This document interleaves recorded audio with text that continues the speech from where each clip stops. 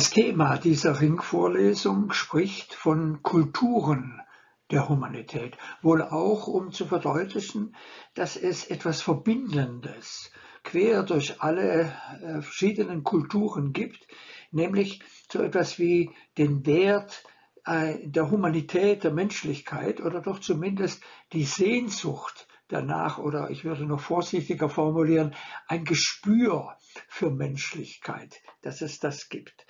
Dass ein solches Gespür für Menschlichkeit quer durch alle Kulturen da ist, ist freilich nur eine Behauptung, die durch das tägliche Morden und Siegen müssen, also durch das kontrafaktische Verhalten in allen Kulturen, widerlegt zu werden scheint.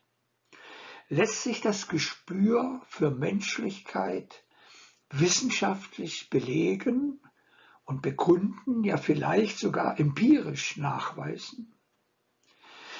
Darum soll es heute gehen, denn Erich Fromm war ein überzeugter Humanist.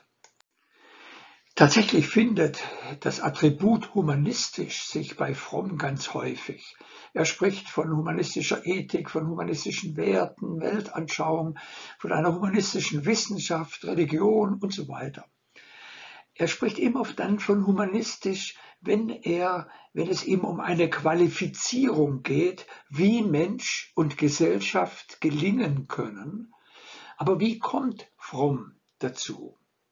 Hierzu ist es hilfreich, wenigstens kurz seinen wissenschaftlichen Ansatz zu skizzieren, denn es ist gerade nicht so, dass der Autor von Die Kunst des Liebens ein blauäugiger Humanitätsromantiker gewesen wäre. Zwei Fragen haben Fromm zeitlebens beschäftigt. Die erste Frage war, warum handeln Menschen irrational?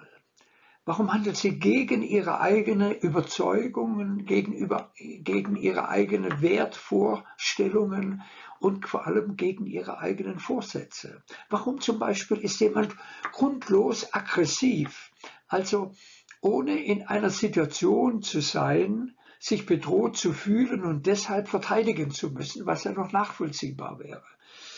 Wo man also den Eindruck hat, dass Menschen nur auf einen Anlass warten oder diesen vielleicht sogar provozieren, um dem eigenen Hass, der eigenen Aggression Ausdruck zu verleihen. Warum handeln Menschen irrational? Oder, um ein anderes Beispiel zu machen, warum wollen Menschen immer so sein, wie die anderen sind, ohne den Wunsch zu haben, ein eigenes Urteil, zu haben oder eigene Ansprüche zu spüren und dann eben zum Beispiel einer Kriegspropaganda folgen und mit Begeisterung in den Krieg ziehen, wie dies Fromm als 14-Jähriger erlebt hat beim Ausbruch des Ersten Weltkrieges. Warum handeln Menschen so irrational? Diese erste Frage, was Menschen irrational und dysfunktional denken, fühlen und handeln lässt, führte Fromm zu unbewussten und verdrängten inneren Antrieben, wie das die Psychoanalyse Sigmund Freuds im Einzelnen aufzeigen konnte, wenn auch in einem Erklärungsschema, das Fromm dann später äh, seinerseits abgelehnt hat. Aber die Zugänge zum Unbewussten, dass es sowas gibt wie Verdrängtes, aus dem heraus Menschen irrational und dysfunktional sich verhalten, diese Erkenntnis hat ihm die Psychoanalyse geliefert und es war eben Fromms Anliegen zeitlebens, diese Fragen, was aus dem Unbewussten und Verdrängten einfließt in das Denken, Fühlen und Handeln der Menschen, diese Frage zu verfolgen. Die zweite Frage, die Fromm zeitlebens beschäftigt hat, lautet, was lässt viele Menschen ähnlich denken fühlen und handeln. Ich habe das hier ins Bild gebracht als Gruppenverhalten äh, in Darstellung eines Schwarms von Fischen. Welche inneren Strebungen ermöglichen ein gleichförmiges Gruppenverhalten, selbst dann, wenn es irrational oder gar feindselig ist? Das war Fromms hochpolitische Frage, die er zeitlebens zu beantworten suchte. Die Frage, was viele Menschen ähnlich denken, fühlen und handeln lässt, führte Fromm zu einer eigenen Verhaltenstheorie.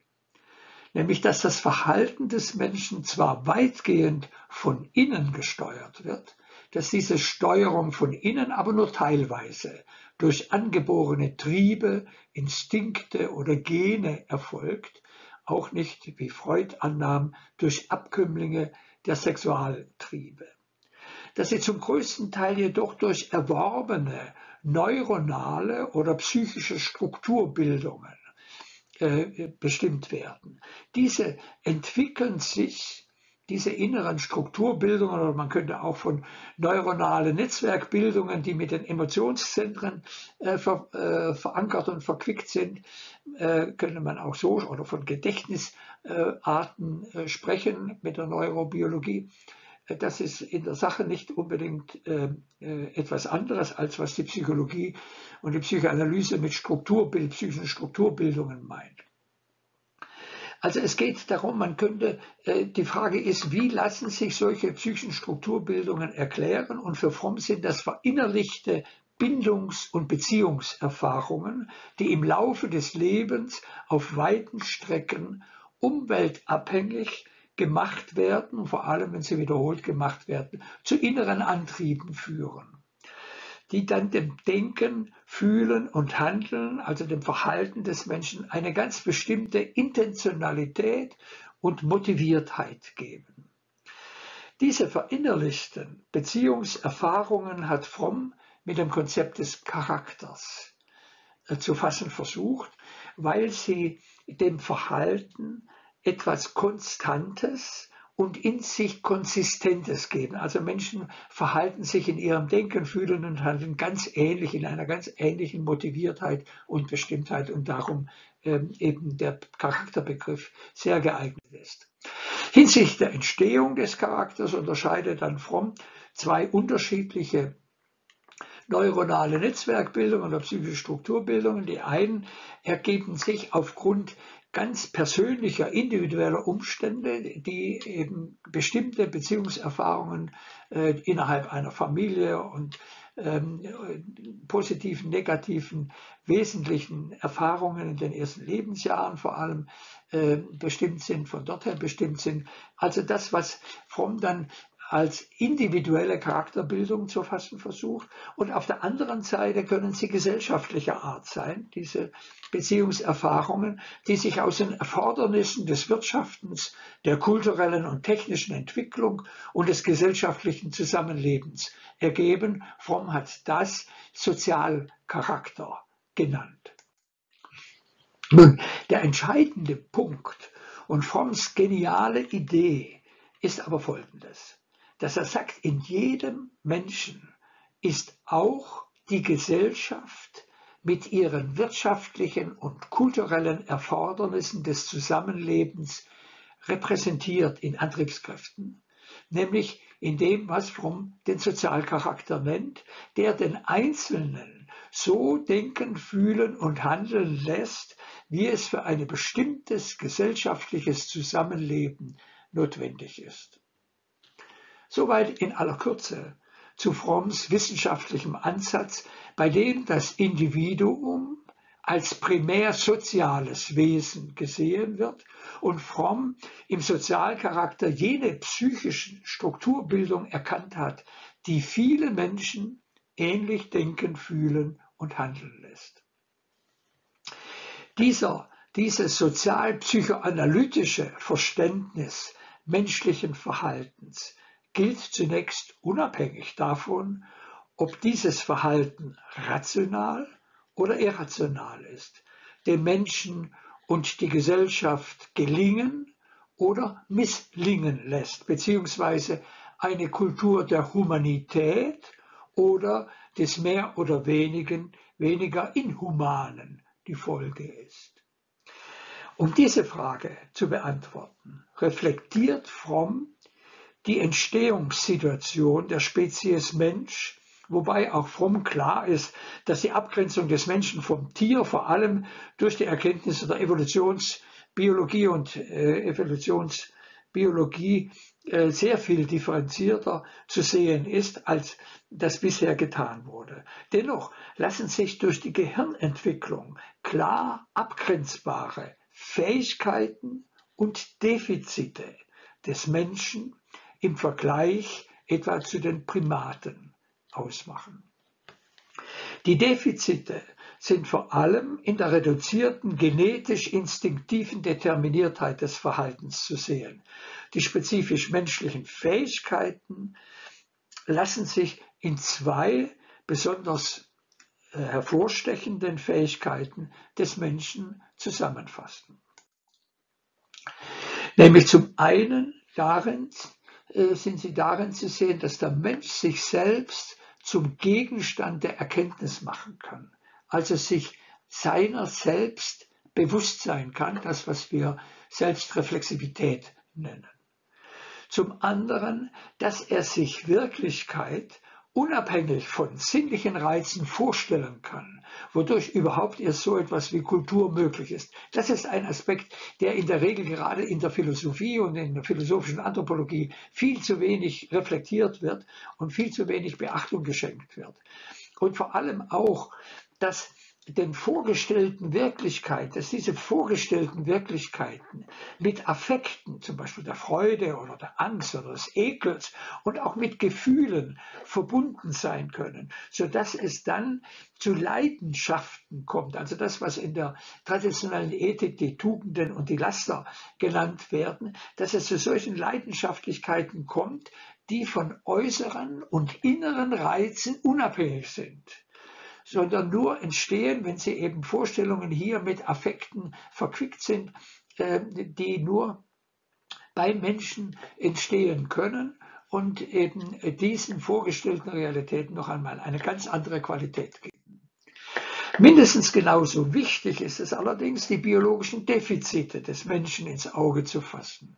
Die Reduktion der instinktiven Steuerung zwingt den Menschen nämlich, eigene Formen des Bezogenseins auf die Wirklichkeit zu entwickeln, sodass der Mensch von existenziellen Bedürfnissen nach Bezogenheit angetrieben wird. Das ist der entscheidende Unterschied zu der Freudschen Theorie, dass Fromm sagt, nicht irgendwelche angeborenen Triebe, sondern die Notwendigkeit aufgrund der Instinktreduktion eigene Formen der Bezogenheit auf die Wirklichkeit, auf andere Menschen, auf sich selbst entwickeln zu müssen. Ja, Fromm hat das im Einzelnen noch einmal genauer aus, ähm, ausgedeutet und ausexpliziert, nämlich dass der Mensch unbedingt, jeder Mensch muss auf die Wirklichkeit bezogen sein, wenn er nicht verrückt werden will. Er muss auf andere Menschen, er muss auf sich selbst bezogen sein, was nichts mit äh, sein, was nichts mit Narzissmus zu tun hat, sondern mit dem notwendigen Identitätserleben. Und was nun besonders äh, eine Besonderheit äh, des Frommschen Denkens und der Frommschen Anthropologie ist, nämlich dass der Mensch auch ein Bezogenheitsbedürfnis hat, auf eine soziale Gruppe bezogen zu sein. Das heißt, sich immer auch einer sozialen Zuge Gruppe zugehörig fühlen muss. Er kann nicht anders, als sich einer sozialen Gruppe zugehörig, selbst wenn er sich da davon absondert, ist es eine Form der Befriedigung dieses Bedürfnisses. Und jeder Mensch braucht einen Rahmen der Orientierung, muss auf einen solchen äh, weltanschaulichen oder religiösen Bezugsrahmen orientiert sein und er braucht ein Objekt der Hingabe. Also das, was wir in, in der Regel mit der Frage, äh, der, mit der Sinnfrage des Menschen in Verbindung bringen. Alle psychischen Bedürfnisse nach Bezogenheit müssen ähnlich wie die physischen Bedürfnisse zu schlafen, zu trinken, zu essen. Sie müssen befriedigt werden. Das ist der Unbeliebigkeitsaspekt der Spezies Mensch. Wird diese Möglichkeit der Befriedigung behindert, etwa durch Isolationshaft oder durch gesellschaftliche Ächtung, durch permanente Entwürdigung oder durch weltanschauliche äh, oder religiöse äh, Indoktrination und Gehirnwäsche kommt es zu massiven psychischen Erkrankungen, wie etwa einer Paranoia, weshalb die Befriedigung dieses, dieser Bezogenheitsbedürfnisse für das psychische Überleben des Menschen eine Notwendigkeit darstellt. Die Art der Befriedigung, dieser Art der Befriedigung sind allerdings kaum Grenzen gesetzt. Das wäre der Beliebigkeitsaspekt äh, der Spezies Mensch. Zu allem ist der Mensch grundsätzlich fähig, auch darin unterscheidet er sich vom Tier.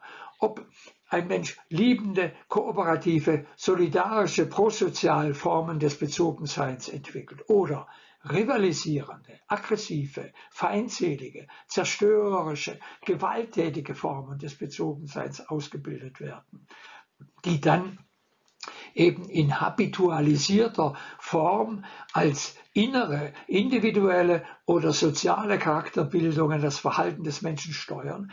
Dies alles liegt in der Gestaltungsverantwortung des Menschen. Dies scheint mir ein wichtiger Teilaspekt jedes humanistischen Menschenbildes zu sein, das Fromm in einer doch sehr speziellen Weise ausentwickelt äh, hat. Halten wir als Zwischenergebnis fest, was Menschen und Kulturen verbindet, sind in erster Linie die Fragen. Das heißt, sind die allen gemeinsamen Bedürfnisse nach Bezogenheit und sind eben nicht die Antworten, die in der historischen Entwicklung dann jeweils gefunden wurden. Darin unterscheiden sich die Kulturen sehr stark. Aber in den Fragen sind sie sich sehr verwandt, sind sie sich sehr ähnlich. Menschlich ist alles möglich, wenn auch nicht alles für den Menschen und das gesellschaftliche Miteinander gut ist.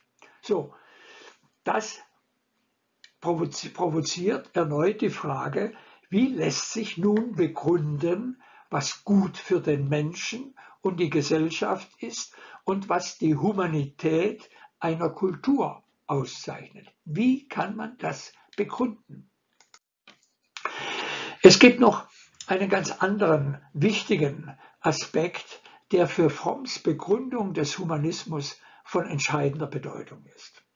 Nämlich vom biologischen her hat der Mensch nach Fromm auch Anteil an der allem Leben eigenen biophilen, wie er sagt, Dynamik. Das heißt, einer Dynamik, wo die angelegten Lebensmöglichkeiten auch entfaltet und zu Wachstum gebracht sein wollen. Diese biophile oder fromm nennen sie auch produktive Wachstumstendenz, das menschlich Mögliche auch entwickeln zu wollen, gehört zumindest potenziell zur Natur des Menschen. Die Einschränkung potenziell trägt dem Rechnung, dass es beim Menschen wegen der neuen Gestaltungsmöglichkeiten eben keine zwingende, naturale Wachstumsdynamik gibt, sehr wohl aber eine primäre Tendenz zu kreativem Wachstum, also zu dem, was Fromm Biophilie nennt, dass es sehr wohl das gibt. Fromm vertritt deshalb einen normativen Humanismus, bei dem der Mensch von Natur aus potenziell gut ist und also die Natur des Menschen eben nicht primär destruktiv böse ist. Hier wird meiner Ansicht nach auch das jüdische Menschenbild deutlich von dem fromm geprägt ist und das in einem scharfen Widerspruch zum christlichen und vor allem hier äh, zum augustinischen und von dort her zum reformatorischen Menschenbild steht. Woher kommt aber dann das Destruktive? Nun, die Plastizität des menschlichen Gehirns ermöglicht auch Befriedigungsweisen des Bedürfnisses nach Bezogenheit die die primäre Wachstumstendenz behindern oder gar vereiteln. Wird die primäre Wachstumstendenz behindert, dann entsteht gehemmtes Wachstum, kommt es zu Blockaden, zu Fixierungen und zu Regressionen in der Entwicklung. Es kann aber sogar auch vereitelt werden, also blockiert, verunmöglicht werden, zum Beispiel durch Wehrlosmachen oder durch vernichtende Urteile, permanente vernichtende Urteile oder durch andauernde soziale Ächtung. Dann entstehen sekundär Gewalt und zerstörerische Aggressivität und Destruktivität, wie das Fromm in dem Buch Anatomie der menschlichen Destruktivität 1973 veröffentlicht, sehr ausführlich zur Darstellung bringt. Die Annahme einer primären Wachstumstendenz, also das, was Fromm produktive Orientierung nennt, das die, hat beim, die es bei Menschen zu beobachten gilt, die hat weitreichende Konsequenzen, von denen ich nur einige wenige hier kurz erwähnen will. Nämlich schon angedeutet, dass der Mensch eben nicht zwingend, dass diese biophile Wachstumstendenz bei Menschen nicht natural zwingend ist, aber eine angeborene Möglichkeit, primäre Möglichkeit darstellt. Sie bedeutet eben deshalb kein Naturalismus, auch kein Essentialismus, aber umgekehrt auch keinen Relativismus. Denn es ist tatsächlich so, wenn man die vorhin genannten Bedürfnisse nach Bezogenheit äh, verunmöglicht zu befriedigen oder wenn man diese Wachstumstendenz zu vereiteln versucht, kommt es zu Reaktionen, die gegen den Menschen und die Kultur gerichtet sind. Es gehört dazu, oder mit dieser Annahme einer primären Wachstumstendenz ist gegeben, dass das Werten, die Ethik notwendig zu Menschen gehört und dass die Wertfreiheit der Wissenschaft eben durch eine Wertreflexion ersetzt werden sollte. Und natürlich ist es eine ganz spannende Frage, was das, was Hans Küng und seine Schülerinnen und Schüler als Weltethos-Idee in den Religionen zur Entdeckung gebracht haben, was das mit der biophilen Wachstumstendenz zu tun hat und mit dem, was ich eingangs ein Gespür für Humanität genannt habe. Ein solcher Zusammenhang wird noch deutlicher, wenn wir danach fragen, welche Evidenzen es denn nach Fromm für eine solche biophile Wachstumstendenz überhaupt gibt. Nun, eine erste Evidenz für, ein biophiles für die biophile Wachstumstendenz ist die körperliche Entwicklung. Mit jeder Entwicklungsstufe kommt es zu neuen Fähigkeiten, körperlichen Eigenkräften, die den Menschen von Bezugspersonen unabhängiger machen. Diese Eigenkräfte werden nur ausgebildet, wenn sie allerdings praktiziert werden. Und sie atrophieren, wenn sie nicht geübt oder durch Krankheit oder Unfall gar blockiert sind. Eine zweite Evidenz für eine biophile Wachstumstendenz ist nach Fromm die kognitive und die emotionale, also die geistig-psychische oder mentale Entwicklung, die allerdings sehr viel stärker als die körperliche Entwicklung von den Bezugspersonen abhängig ist. Auch diese Entwicklung kennt markante Schritte, von denen hier nur beispielhaft ein paar genannt seien, nämlich die Fähigkeit, Bezugspersonen und sich selbst nicht mehr nur als entweder befriedigend oder versagend, entweder gut oder böse wahrnehmen zu müssen, sondern eben als sowohl als auch. Das heißt, negative Aspekte müssen dann nicht mehr abgespalten werden und auf andere projiziert werden. Das nennen wir psychologisch die Fähigkeit zur Ambivalenz, die ein ganz zentraler Schritt ist, der immer wieder verloren geht, der sich dann eben auch zeigt in einem starken Spaltungsbedürfnis, einem starken Bedürfnis, in Schwarz-Weiß zu denken, zu projizieren und Feindbilder zu entwickeln. Eine weitere Fähigkeit ist die Fähigkeit, Vorstellungen, Fantasien, Wunschvorstellungen, Wunschbilder klar von dem, was Realität, was gegeben ist, was in Anführungsstrich objektiv, objektives Gegebensein äh, darstellt, klar unterscheiden zu können. Also ein, was wir psychologisch als Realitätskontrolle oder Wirklichkeitssinn begreifen. Eine weitere Fähigkeit ist, sich selbst in seiner auch ambivalenten Emotionalität wahrnehmen zu können.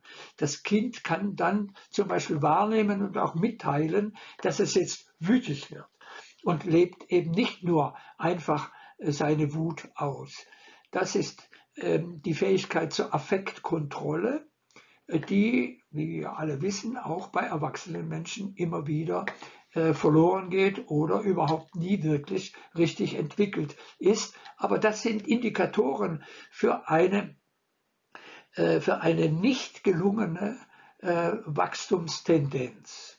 Schließlich ein letzter Punkt, der hier aus den unendlich vielen, die man nennen könnte, aber den ich äh, hier noch erwähnen möchte, ist, dass erst mit der Pubertät der Mensch entwickelt, äh, äh, verstärkt die Fähigkeit entwickelt, zwischen gesellschaftlich beziehungsweise familiär vermittelten äh, Werten und Vorstellungen und eigenständigen Wertvorstellungen unterscheiden zu können. Und erst dann kann man in Wirklichkeit auch von einem sozialen Identitäts- und Selbstwerterleben sprechen. Ähnlich wie bei den körperlichen und sensorischen Entwicklungen des Menschen lässt sich also auch bei der kognitiven und emotionalen Entwicklung eine intrinsische biophile Wachstumsdynamik beobachten, das dem Menschen mögliche auch tatsächlich zur Entfaltung bringen zu wollen, die, wenn sie nicht behindert oder gar vereitelt wird, zu einem Optimum an Humanität führt. Beide Entwicklungen lassen sich als Evidenzen für eine primäre biophile Wachstumstendenz begreifen, die nach Erich Fromm den Humanismus begründet und auch dafür spricht, dass Kulturen eine primäre Tendenz zur Humanität haben. Fassen wir zusammen. Alle genannten Fähigkeiten sind Indikatoren für eine biophile, also menschlich produktive Wachstumstendenz und durchaus auch operationalisierbar. In welchem Ausmaß wir es mit Humanismus und einer Kultur der Humanität tatsächlich zu tun haben, lässt sich zum Beispiel an der Frage der Menge praktizierter und der Qualität praktizierter Feindbilder oder an der Fähigkeit zur Selbstkritik oder an der Ambivalenzfähigkeit der betroffenen Menschen oder auch Organisationen äh, messen. Alle genannten Fähigkeiten sind kognitive, imaginative und emotionale Eigenkräfte, die den Menschen von Bezugspersonen unabhängiger machen und das Erleben von Autonomie und Freiheit ermöglichen. Deshalb lässt sich das, was Humanismus und Kultur der Humanität meint, auch von der faktisch gelebten Autonomie und Freiheit herbestimmen. Und schließlich, alle Fähigkeiten müssen praktiziert und geübt werden, sonst verkümmern sie oder gehen gar verloren. Eine Kultur der Humanität lässt sich deshalb auch daran erkennen, ob sie die kognitiven und emotionalen Eigenkräfte stärkt oder die Tendenz verfolgt, Menschen in eine Animationsabhängigkeit zu bringen, wie das gerade in, unseren, ähm, äh, in unserer Zeit mehr und mehr der Fall ist. Lässt sich Humanität wissenschaftlich begründen? Immerhin, Fromm hat einen ernstzunehmenden Versuch gemacht. Ich danke für Ihre Aufmerksamkeit.